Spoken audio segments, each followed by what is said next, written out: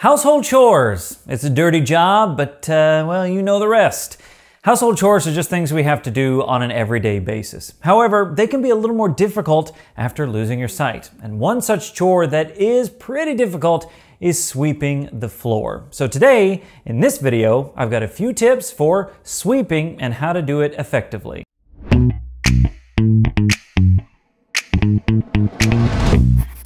What's up VIPs? Derek here back with another video. And like I said, household chores are, well, annoying, aren't they? Nobody loves to do household chores. Unless you're the type of person who finds it cathartic and helps you relieve some of the tension in your life, so I say, hey, go for it.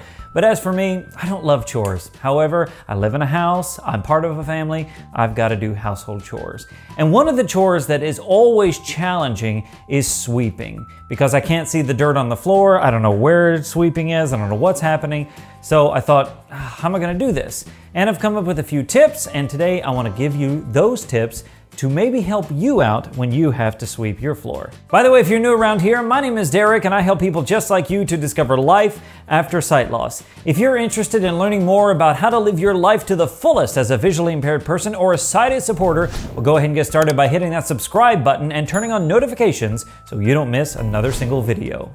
All right, so let's jump into it. My first tip is to sweep small areas at a time. Now here in my house, we have a, an open concept and I've got hardwood floors in the dining area and the living area in the kitchen, down the hallway, and there's no way I can sweep all of that at once. Now you might say, well, maybe you've got to sweep all of it in a day. But the thing is, I'm not going to plan to sweep the entire thing at once.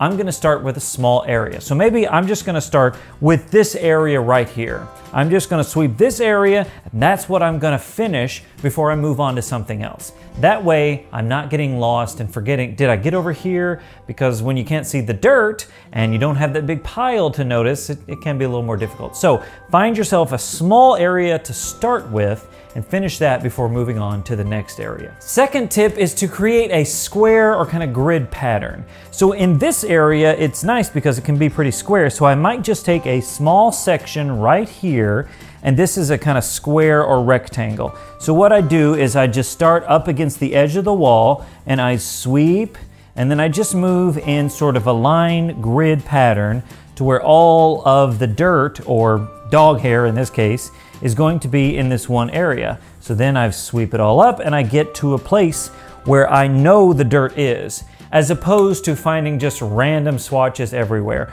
Find yourself a square or grid pattern, even if it's pretty small. That way you know where you swept and you can keep track of it without losing all of your dirt. Now my third tip goes right along with this, and that's to pick up your dirt often.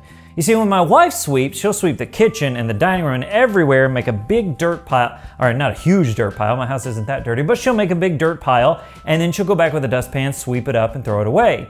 Problem with us is I can't see that dirt pile and so I may lose track of it. Maybe I step through it or anything like that. So what I like to do is just sweep up a small area and then pick up that dirt. Sweep up another small area, pick up that dirt.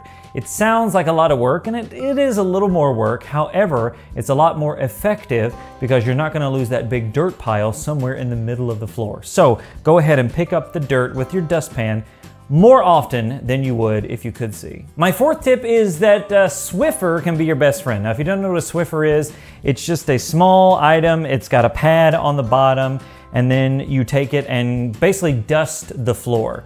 You see, a lot of times we sweep up things, and if you've already swept everything, you may be like, oh, that was great. However, there might be some little dust particles, some dog hair that was left over, and the Swiffer can go back and get a lot of that stuff. Maybe not everything, but a lot of it. And it's real easy to just Swiffer across, make that grid pattern as we talked about earlier, and just Swiffer the floor, and you'll pick up maybe not everything, but a ton of stuff that has been left over after you swept. So go ahead, get yourself a Swiffer. It can be your best friend when you're sweeping the floor. And my final tip is to get yourself a sighted friend, family member, and let them do a sweep of the floor for you. I don't mean a literal sweep, I mean just look around and say, yeah, you got most of it, but over here, something like that. Now look, I have trouble with this sometimes too, because when I'm sweeping or when I'm doing a chore, I don't want somebody coming behind me and be like, no, you missed this, you missed this. I get it. But when you can't see, and especially when you're doing a chore that is very sight intense, you might need a little help, and there's nothing wrong with that. The good news is, the more you do it, the better you're going to get. So have that sighted friend or family member just give you a few tips, a little bit of help as you're doing things, and they can be a huge benefit, especially at first when you're just getting started doing this kind of chore. So there are just a few tips on sweeping the floor when you have to do this household chore. Look, again, I don't think anybody loves to sweep the floor, but it's gotta be done, especially if you have pets, if you've got a lot of dust flying through the air, whatever the case is, you wanna be able to sweep the floor. So make sure you take these tips and others and go ahead and get out that broom, get out that Swiffer, and uh, sweep your floor because, well, it can be very rewarding when it's all done, you got the dirt in the trash can, and you have accomplished something that might be a little bit difficult, but you've done it even after losing your sight. So my question for you today is this, what tip do you have on sweeping the floor?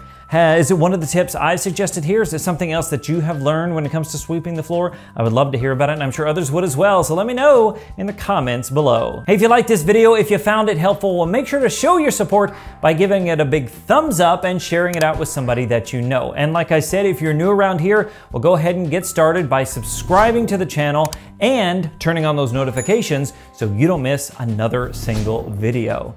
Thanks so much for watching wherever you are, and until next time, remember that sight loss isn't the end, it's just the beginning. My name's Derek, and we'll see you in the next one.